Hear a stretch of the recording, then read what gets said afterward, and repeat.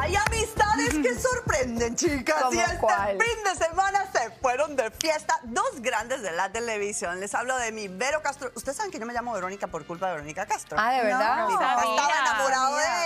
Novelas y me puso Oh, Verónica. wow. Qué bueno que no se llamaba Perenceja, porque me hubiera llamado yo como Perenceja. Pero bueno, vaya este detalle, pues estaba de fiesta con Laura Bozo en el Acapulquito lindo y precioso. Y también me contó Maribel Guardia que estuvo con, con Vero Castro y que está muy bien, que está muy linda y que estuvieron platicando mucho. Ambas sorprendieron a los fans dejando claro la cercanía que tienen. Miren aquí, karaoke, fiesta, coche, cantada, bailada y se fueron de parranda junto a algunos amigos que estaban por ahí. Y para el recuerdo, pues ellas dos se tomaron esta fotografía que postearon en las redes sociales. Y muchos les decían, ay, que el filtro, que no sé qué. Ah, ¿qué te importa el filtro? Vean ustedes qué par de mujeres hermosas eh, gozándose la vida. Y la verdad que eh, a cada una tiene lo suyo y son dos mujeres que cada una en lo que hacen eh, tienen mucho que contar. La Qué verdad padre. que no, Sí. y Laura es DJ, ¿no? Ella dijo que, Eh, Laura Bozo dijo que era DJ. Sí, Sí, no, DJ. ella estaba haciendo eso. Sí, es DJ. ¿En ese lugar? No, no, No, no, en ese no En, sé, en pero otras Quería ver si estaban atentas. Pero fíjate que recuerden que Laura estaba un poquito deprimida, que habló Ay, con sí, nosotras. cierto. Así que tal vez ya ha salido de eso y se está divirtiendo. Oye, y cantando las canciones de Cristian Castro, Ay. qué padre, de Bueno,